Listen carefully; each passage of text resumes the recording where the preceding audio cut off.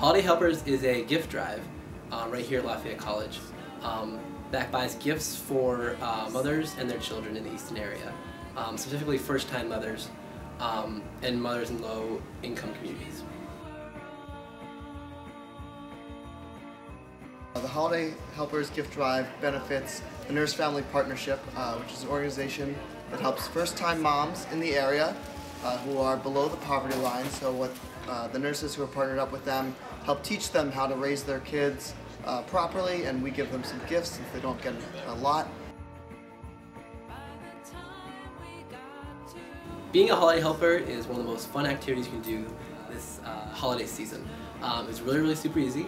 Um, basically, all you have to do is stop by the Landis Center. Uh, you'll see on our window we have about 300 tags put up. Um, you're just going to take one off. Um, you'll see a binder right next to the window. You're going to sign your name and your email address, take the tag, um, and then when you go out shopping, you're going to look at the tag and it will have exactly what you need to buy for either a mother or for a child. Um, you'll buy all, those, buy all those things on the tag, um, put it in a reusable shopping bag. Uh, no need to wrap it or put any tissue paper in, just the reusable shopping bag. Um, and return that shopping bag with the tag to the Landis Center by Monday, November 18th. Um, and we will check it in.